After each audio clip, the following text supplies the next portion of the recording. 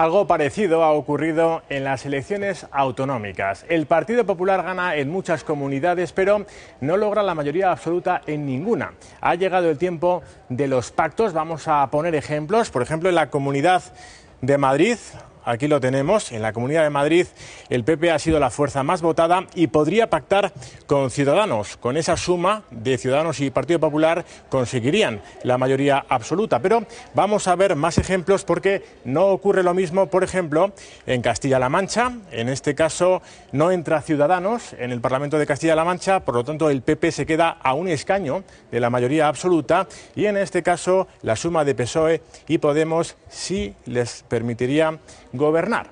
Por pactos como este, el PP pierde también, además de Castilla-La Mancha, algunas plazas muy significativas, como por ejemplo la comunidad valenciana. En esos territorios la izquierda podría recuperar el poder. Si miramos el mapa, estas son las cuatro comunidades en las que el PP puede gobernar si pacta.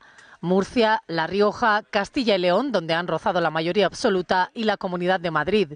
En esta última, Cristina Cifuentes podría formar gobierno con Ciudadanos, a quien ya le ha pedido su colaboración. Para conseguir un gobierno estable.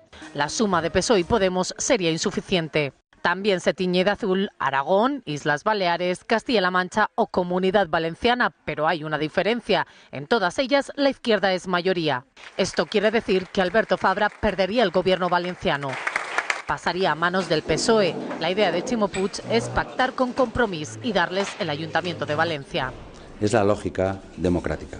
Y algo parecido puede ocurrir en Castilla-La Mancha, donde el PP se ha quedado a un escaño de la mayoría. Y de ahí la alegría de los socialistas, que pueden gobernar si se unen a Podemos. Además, el PSOE repite en Asturias como fuerza más votada y recupera Extremadura. Guillermo Fernández Vara podría volver a gobernar, imagen que contrasta con la de José Antonio Monago, que pierde esta comunidad.